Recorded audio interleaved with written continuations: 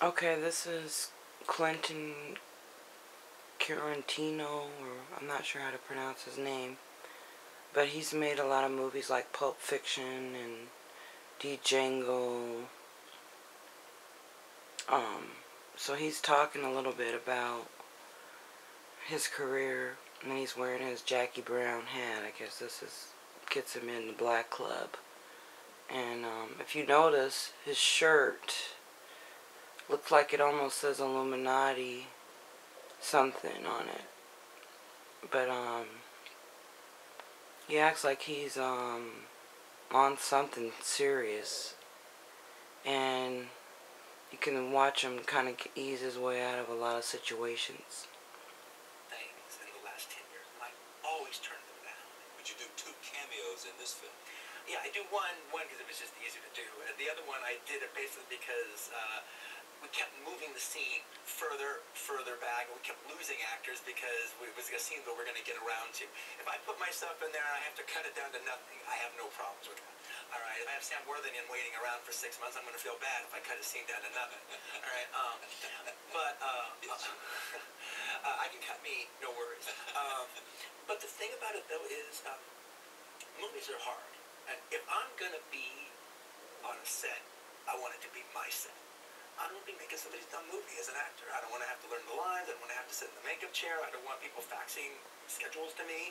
I don't care about your dumb movie. I care about my dumb movie. But there must be people. I mean, I'm surprised you've never worked with Johnny Depp.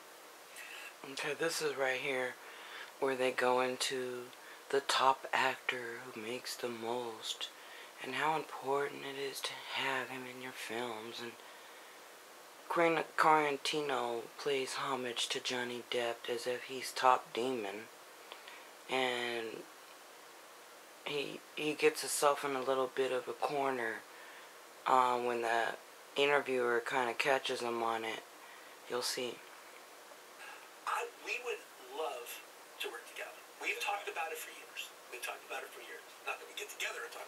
But when he discusses um, Ja- Jamie Foxx, is not exactly so hyper, and he didn't really create a part for him. About it for years, but from time to time, and it's, we're obviously fans of each other. Right. I I- imagine that, but knowing both of them. Yeah, I just need to. Uh, it just needs to be the right character. I just need to write write the right character that I think Johnny would be the guy to do it with. Okay, so this is what he does for Johnny. Johnny gets the spre- special white, wealthy, elite secret society privilege to have his parts written for him in mind. Now he lays it out right there, but then when the interviewer catches him, he he clear- cleans it up a little. And if he agrees, then we'll do it. And then it'll be magical. I mean, there is a reason. It takes time to find the. Magical, as in Satanist magic. It just, it's just, I, I haven't written, I haven't written the perfect character for Johnny Depp as of yet. Maybe someday I will. Maybe someday I won't. We'll see. But Okay, uh, but let's talk about that because I mean, if you look at this character that Jamie Jimmy Fox, Jamie Foxx plays, or I mean, was that it wasn't written for him? no, no, no, no. That's not the point.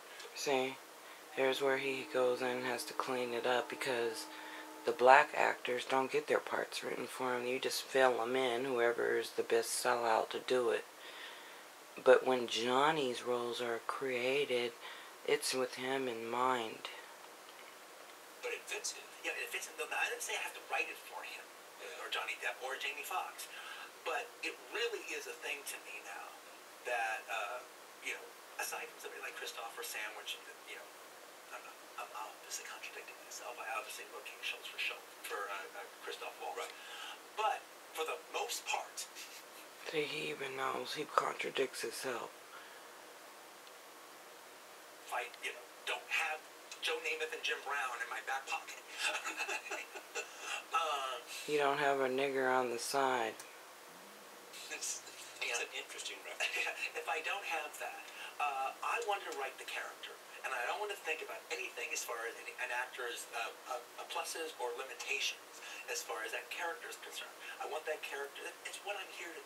I'm here to create these characters that come out of this deep DNA of my tissue. And I only got one one crack at it. Yeah, I'm not writing theater that people were going to do be doing this every 20 years. Uh, maybe someday it will, but not right now. And uh, so I write that character, and then nothing is more important than just finding the perfect actor. But when that actor, when that character is perfect, like in the case of Leonardo here, or maybe Johnny Depp someday, or somebody else, it's like Notice how he leaves out Jamie Foxx.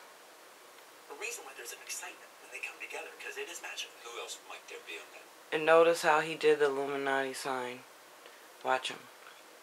He says it's magic when we all get together, and then he puts up the Illuminati sign. It is magical Who else might there be on that? Watch. when they come together because it is magical. Who else might there be? There's a reason why there's an excitement.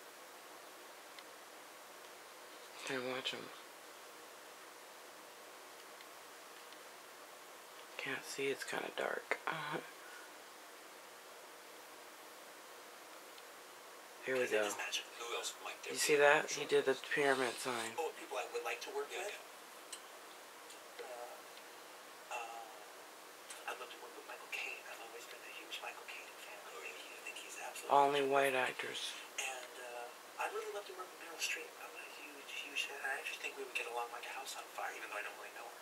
No, you would get Listen, let me close with this. Um, so, somebody with talent and promise and uh, the gusto and passion uh, that he just talked about, which is you, comes to you, and and let's say they've made some small film that you think Mm, This is where he's trying to get him to admit, you know, but he's showing the Illuminati sign, letting them know, like, hey, if they do try to get in, they're not going to, because if they're not a part of the secret society, we're not going to let them in. it shows talent, and they say to you, uh, Talent doesn't exist in Hollywood anymore. It's just about favoritism, nepotism, um, sexual harassment, sexual favors, um, devil worship, satanic rituals. It's not even about talent. Mr. Tarantino, tell me what you have learned that I need to know about being a movie maker. Yeah, notice he didn't say how he helps other people struggling trying to become directors. That he has a protege or anything. Because they don't want to pass on the knowledge. They want to keep it all to themselves. And this shirt is really creepy because it almost looks like Illuminati Joker. See how it looks like it's I L L M A and then it's going to spell it out and then on the bottom it's O K E R. So he's saying the Illuminati is going to end up being the Joker. it would have to be much closer to uh, uh, uh, something much more specific. I mean, it, He almost comes off a bit homosexual and I wouldn't doubt if he wasn't. I wonder does he have a wife or a mate that he's known with being for? Because I'm almost positive he doesn't. And if it is, it's probably a male. if I actually was going to try to uh, see their strengths or something, maybe I would ask them how they work with actors. What was if I liked the movie? How did you? How did that work out? How, how did you do? it? And they would tell me their way. And if I thought that there was a And then for him to wear gray and black, to sort of be mocking me on the side, knowing that I'm only wearing gray until I get a job. Until I get my director job. So now the latest color for all the Hollywood directors to sport is gray. So it's a sort of flaunt in your face. Haha. You can't be one of us. a deeper level that they could get, and uh, then I might uh, take them in that way.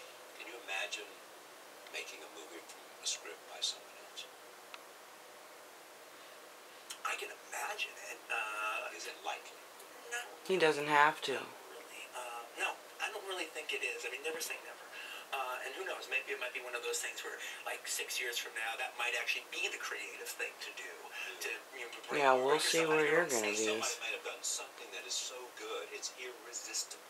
That's true, but you know, gosh, if it's that good, then somebody else could do it too, you know, and the world wouldn't be robbed. And it's, the reason I, the reason I, I think that's less likely is because I kind of feel I was put here to take those blank pages and fill them up. Exactly. Yeah, So is, but notice he was here to fill up blank pages, but not to lead people to Jesus or make Christian films or anything, a film with God or Jesus in it.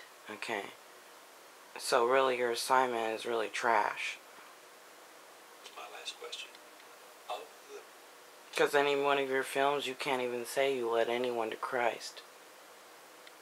It didn't make much of a difference. They didn't change anyone's life and make them get to heaven. So to me, psh, they're a waste of film and money. film that comes out of like Django, like Pulp Fiction, like Jackie Brown, like Inglourious Basterds. Um, Jackie Brown movies are good. I have to give him that. does the screenwriting weigh and own a hundred pounds as the complete weight? Quentin is known as the closest to the black white director you can get. He's sort of gotten his way in with um and gotten a black card. So he um is one of the ones who's less prejudiced, I would have to say, out of all the directors. He um has more diversity in his films. I have to give him that. Is it thirty pounds? Is it fifty pounds? Is it a stupid question? No, it's not a stupid question, actually. Um, that's, actually, it's interesting. Let me get kind of a two. I have to stop this because I know they won't let me download it. But there'll probably be a part two.